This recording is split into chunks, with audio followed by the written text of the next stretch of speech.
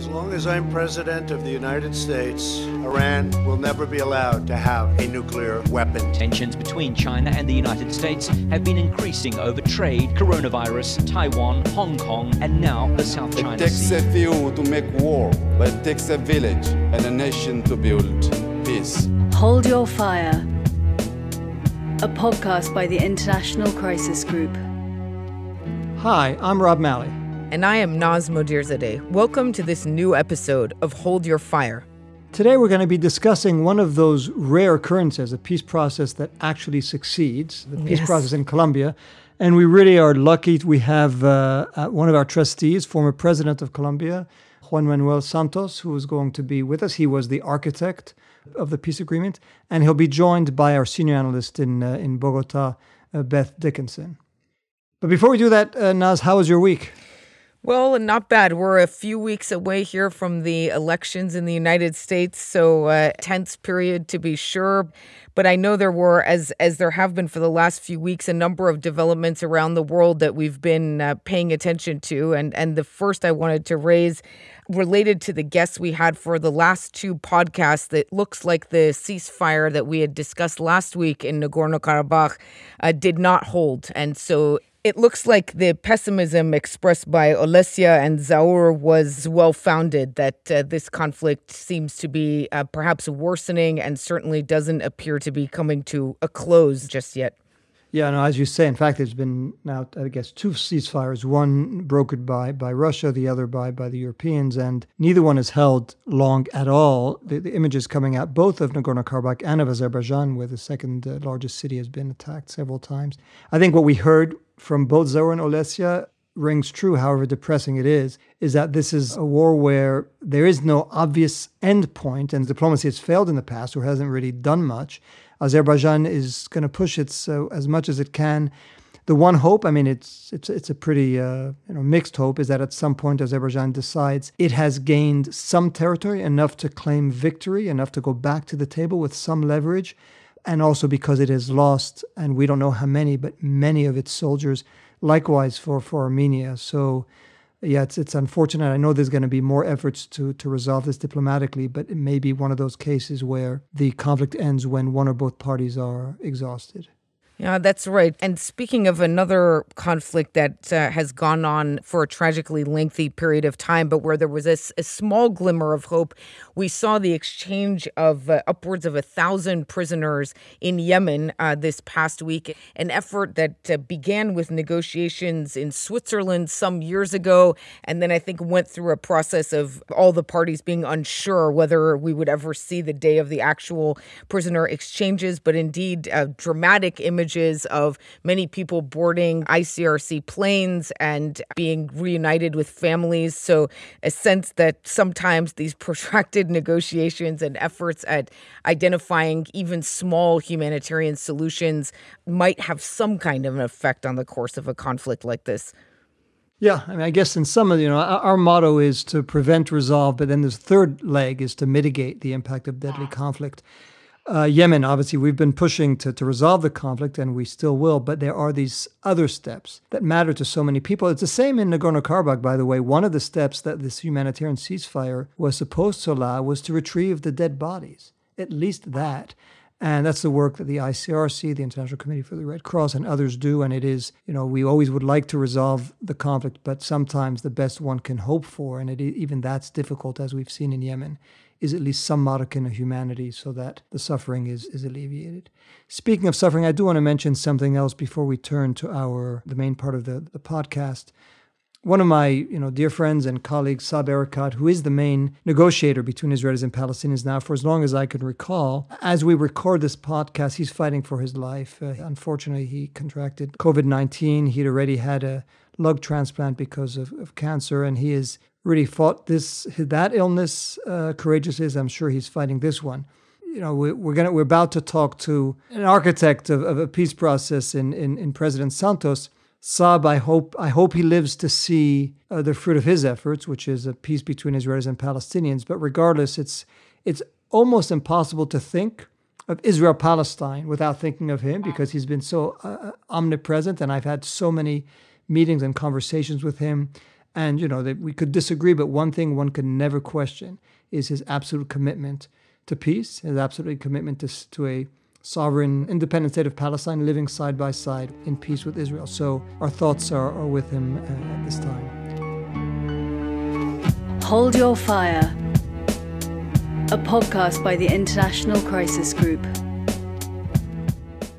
So I'd like to welcome our two guests today. Uh, first, former President Santos from, from Colombia. He was, as I said, president between 2010 and 2018. He was a Nobel Peace Prize winner and, perhaps most important, a trustee of Crisis Group. Uh, president, thank you so much for making the time. No, thank you for having me. And with him is uh, Beth Dickinson, who now lives in Bogota, and she's since 2018 is our senior analyst on Colombia coming straight from uh, the UAE, where she used to cover conflicts in the Gulf. Beth, great to have you on. Thanks so much. Really appreciate the opportunity. So I'd like to start, uh, Mr. President, with, with one question. You know, we, we deal with conflicts around the world and very, very few breakthrough resolutions in many, many years. Uh, Colombia is one of those rare cases that succeeded. If you had to think of the two things that you thought were key to the success in Colombia, and then we could try to think about whether they would apply elsewhere, what would those be? That's a difficult question, but I, I would mention, uh, first of all, careful planning, and uh, second, building trust.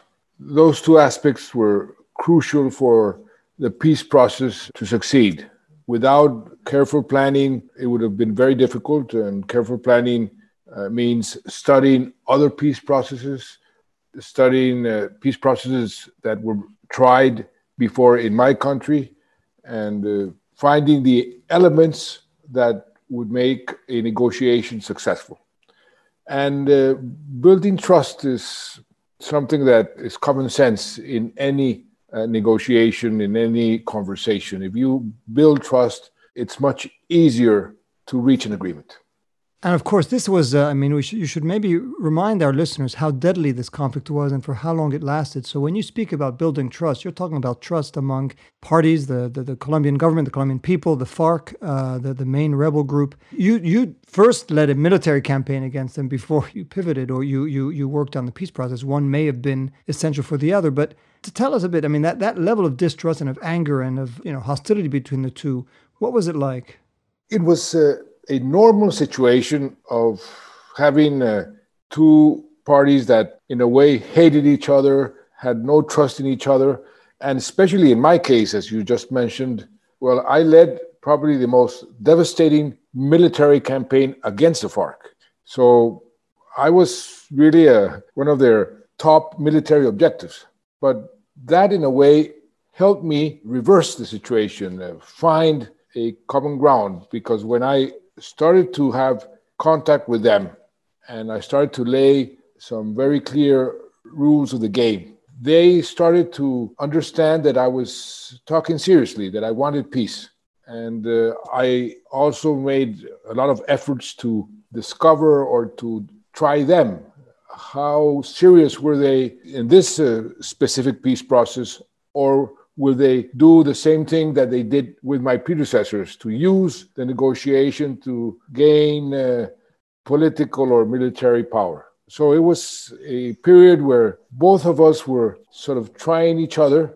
And uh, I think was a crucial period because both of us came out of that process with a minimum doses, but sufficient of trust, one and the other.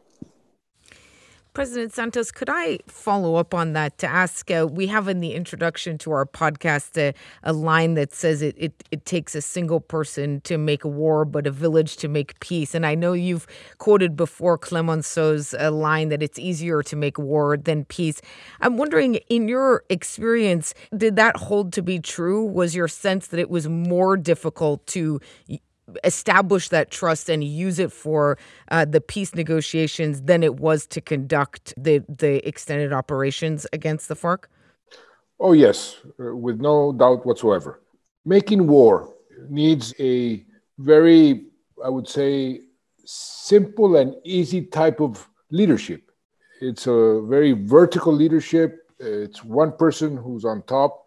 He rallies the forces and he makes war. Making peace you need a more horizontal type of leadership. Instead of giving orders, you need to persuade. You need to even persuade not only the enemies, but your own people that peace would be better than continuing war. And believe me, that is more difficult. So, yes, uh, by, by all means, I can vouch for that uh, phrase that making peace is much more difficult than making war because I had the experience of making both, and I found making peace was much more difficult. So I could just uh, jump in on that and ask ask you, Mr. President, and Beth. So one of the things that, as somebody who was an observer at the time, I was not working on it, that came as a bit as a surprise was that, and I, I assume it's, I think you said that it surprised you too, was that the referendum on the peace accords you lost. I mean, there was a popular referendum, and uh, the, the, the vote uh, came out against, which kind of sounds counterintuitive that it, that whatever skepticism about peace would pre-exist the agreement I would have assumed should have been overcome by the reality of peace and people want to put it behind them. So, were you actually surprised, and how do you explain that? And is there anything looking back that might have been done differently for that, so that that first referendum that it might have come out in a more positive way?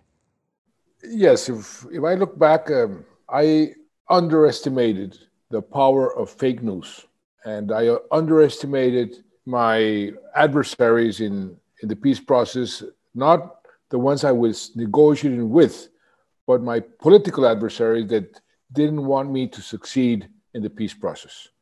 And they had a very effective propaganda campaign trying to sell uh, the peace process as uh, a process that we would give in to communism. And you have a long list of fake news that we were going to, what Trump is using today with Biden the Castro Chavismo, the Venezuela and Castro combined, uh, we were going to, Colombia will become that, and that we're going to do away with private property. And they started to repeat this and repeat it and repeat it. They were so obnoxious in terms of the, the lies that they were just saying to the people that I didn't give that a lot of importance. I said people will not are not going to believe that, but they did. And there was one crucial aspect. This is the first peace agreement that has a gender chapter. We thought that uh, among the victims, women are usually the more victims of the victims. So we negotiated a special chapter to give women sort of a affirmative action in the post conflict. Well, they managed to sell this gender chapter as something called the ideology of gender which is something that no religion accepts. And the attorney general of that time, very conservative, simply said in one of his speeches that the peace agreement will have an element that will destroy the Colombian families. And uh, the priests and uh, the pastors of the evangelical uh, groups started to campaign for the no vote and when I realized what was happening, it was a bit too late. But afterwards, when we were renegotiating the, the agreement, I brought in the head of the Catholic Church, the cardinals, uh, the bishops, and the evangelical pastors, and I said, Here, I give you my pen. Change whatever you want in order to satisfy this worry that you claimed was included in the in the agreement. And uh, they answered, Mr. President, we are very, very sorry. We were misled by the prosecutor general. We believed him. We have now read the whole agreement, and there's nothing that, in a way, worries us. So we come here to simply say we are very sorry. But that cost us a lot of votes. it's fascinating to hear you were a victim, uh, may have been a victim of fake news before fake news was really something people focused on. But Beth, I want to ask you. Uh, so you're you're in uh, in Colombia now. I'm sure you speak to a lot of people when when you can get out of your house despite COVID nineteen. So when people look back, and I assume that the, the country's still divided, those who opposed the peace agreement and who voted no and who may still feel that it was the wrong thing to do. I mean, do they look back and they, they preferred the, the old days of military confrontation and, and violence? Or what is it about that still triggers some skepticism?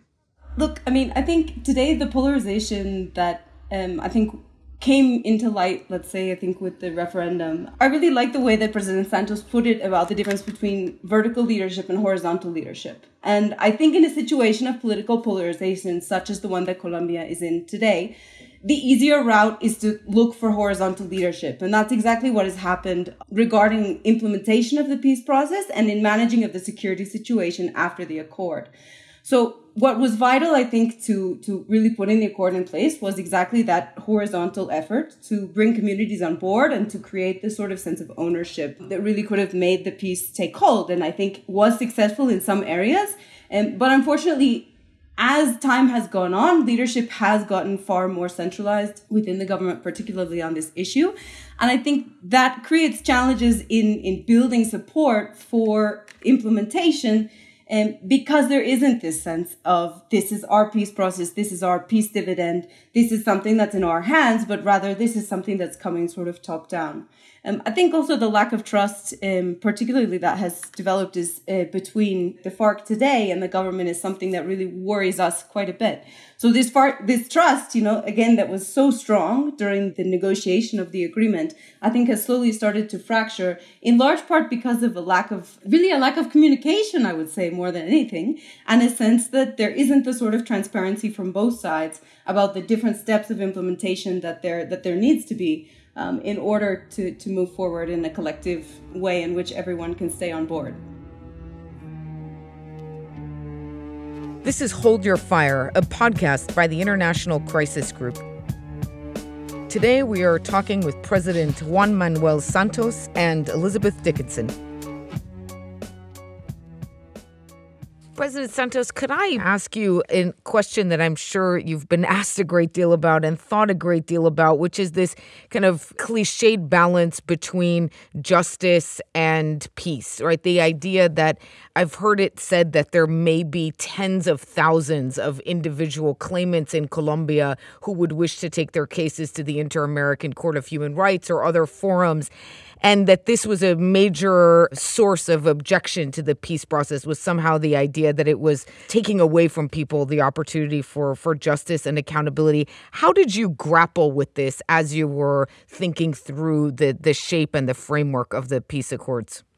Well i was aware since the very beginning that that was the most difficult aspect of the whole peace process. Where do you draw the line between peace and justice and my instructions to my negotiators is seek the maximum of justice that would allow us to have peace.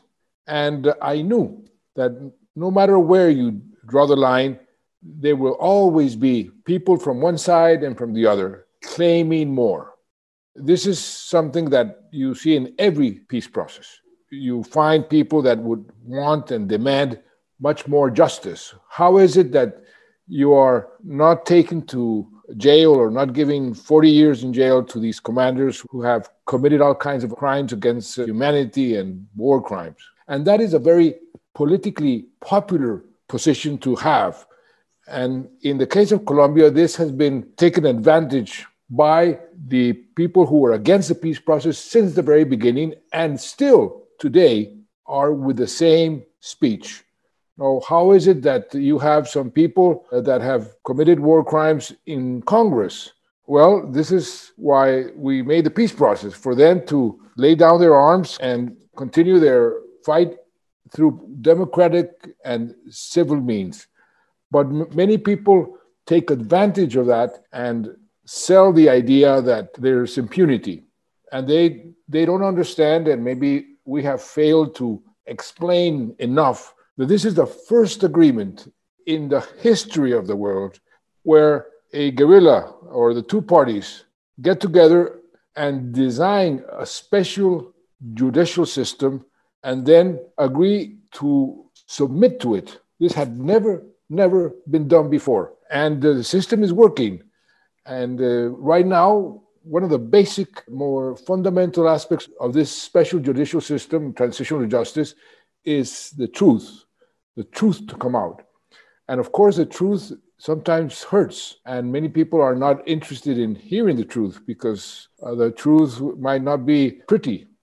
But this is a fundamental aspect of transitional justice. We are right now exactly in that moment, and we're going through sort of a catharsis uh, that uh, is needed to have reconciliation in the long run.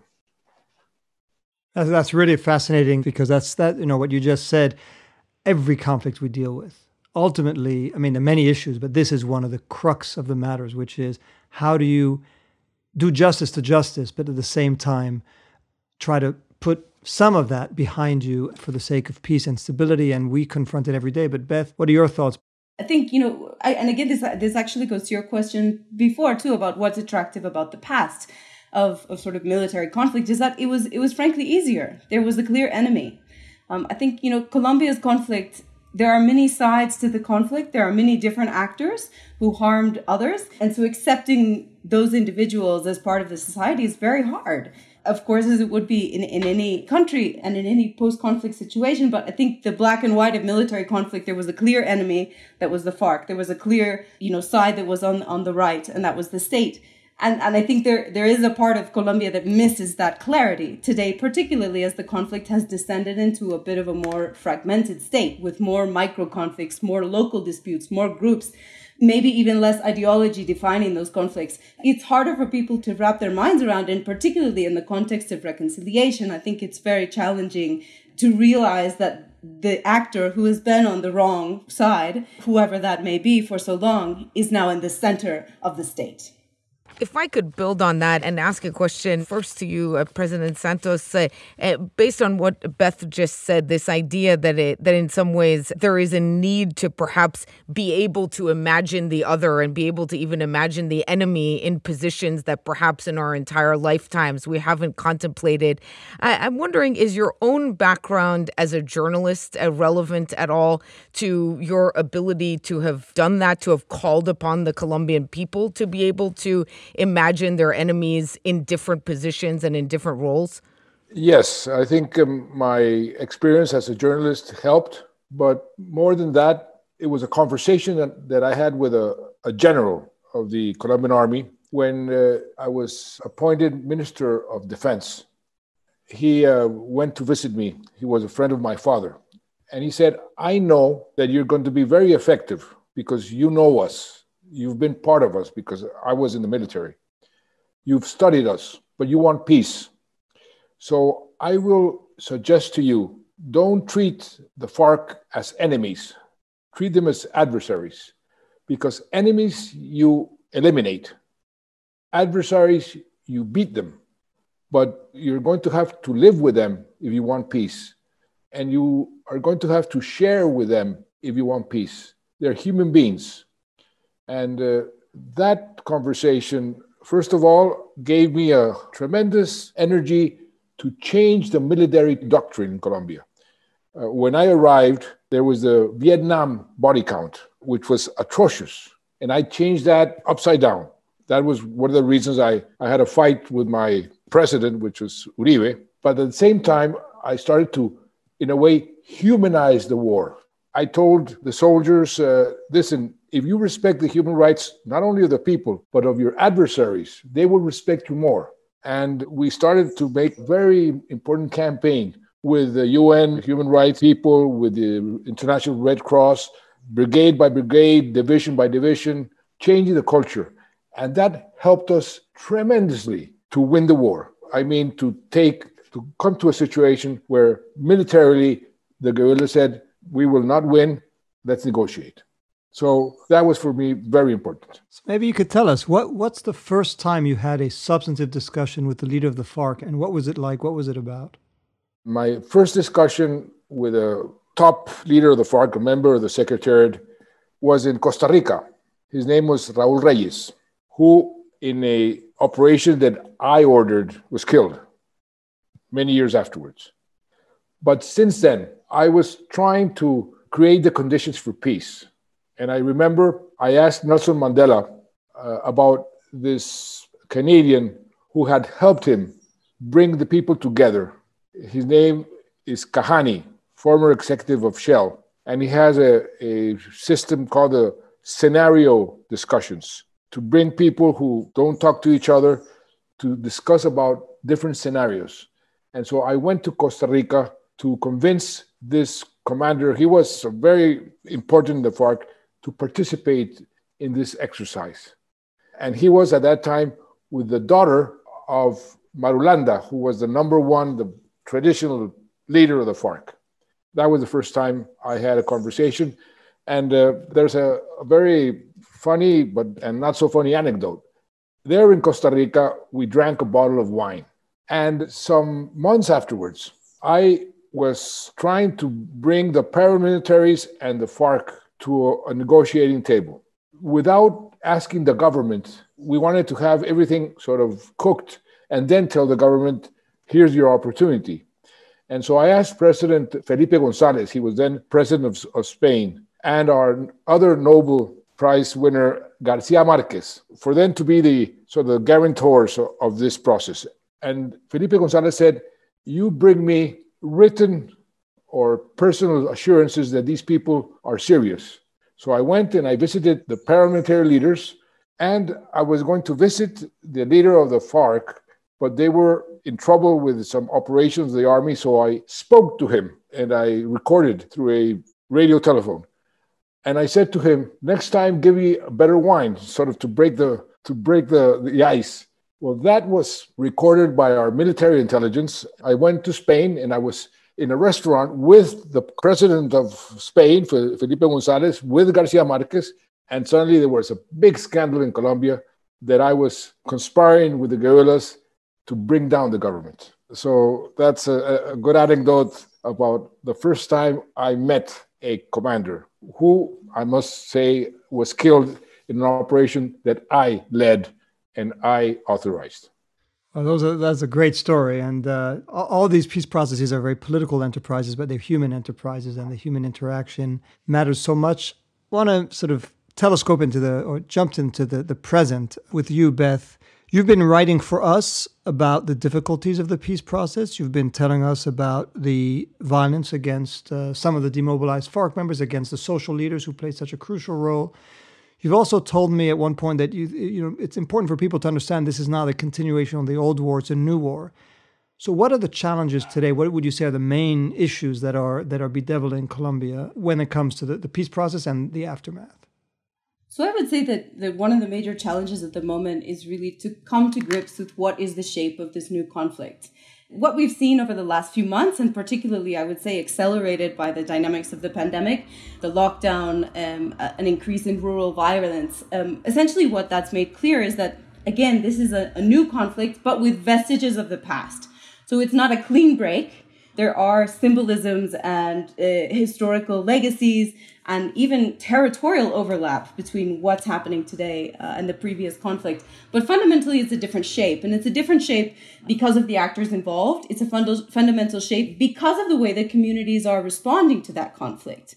Um, having been through a peace process and having been promised peace, I think the reaction of communities is much more proactive, perhaps, than it was in the past. Much more willing to put themselves out there and say, this isn't right. Something is going wrong in my community. I have the right to peace. I have the right to security. I have the right to development. And that has really changed, um, I think, a lot of the dynamics. So for me, the first challenge really is to come to grips with what is the new configuration of the conflict. And what really would be a strategy, first and foremost, a security strategy to manage the dynamics of the current conflict, where you have far more actors that are far more dispersed, that aren't necessarily acting in coordination with one another, that don't necessarily have ideological aims, and who are really, eh, more than anything, about time, trying to dominate territory and do so through dominating communities. What is the security strategy that could manage that situation in a way that safeguards peace and puts the communities who are most affected by that conflict at the forefront? So this is the second challenge, I think, which is complying and, and meeting the requirements and, and the expectations of what was promised in the peace accord. It, it's a big accord. Mr. President, you left a very big number of tasks on, on the desk of, of Colombia, and that's good. And that's it's a route forward. That's a huge advantage for Colombia because there are steps to follow. Following those steps is extremely difficult. It's going to be even harder now uh, with the pandemic, with resources stretched, with the ability to act on the ground, um, even more compl- complex than it was previously. But I would say prioritizing that key goal of transforming the territory where conflict has persisted for so long is really vital because otherwise you you end up in a cycle where despite perhaps disarticulating one armed group another one pops up in its place because you have economic desperation because you have the lack of opportunities because you have a culture of, of persistent conflictivity. All of these things will continue to cycle until there are clear pathways forward, particularly for rural Colombia, to be more connected with the rest of the country economically, socially, politically, more than anything. Beth, can I ask you a quick follow up on this? Uh, can you say more about this point regarding the shift of groups that are not connected to or aren't fighting out of a sense of ideology? It sounds like your sense is that may make breaking this current cycle more difficult. Can you say a bit more about what you mean and why? Sure. So, after many years of having sort of one dominant actor in the conflict, which was, of course, the FARC, Today, there really is no singular group that can say that it has a, a hold on the most territory um, other than the state. The ELN is probably the, the next largest group at the moment, and they do have an ideological drive. And, and I think, you know, a negotiation with them is, is something that very much will have to be on the table at some point in order to end the conflict with them particularly. But elsewhere in the conflict, the other actors are essentially a conglomeration of groups that have fragmented from previous demobilization attempts and from new recruitment. So the first would be post paramilitary groups. These are groups that came out of the demobilization of the paramilitary process and essentially act today in what we might recognize as drug cartels. The second sort of box, I'd say you could say, of actors would be so called dissidents of the FARC. Now, this is a bit deceptive because the vast majority of these supposed dissidents were never in the FARC pre peace. They are new recruits and more than anything, the way that these groups operate is based on the individual agendas of commanders in a specific area. So rather than operating as, you know, the FARC or FARC dissidents under a singular umbrella, um, they are really all after their own self-interests, and those self-interests vary dramatically from region to region. They've even competed with one another in certain areas for space and territory.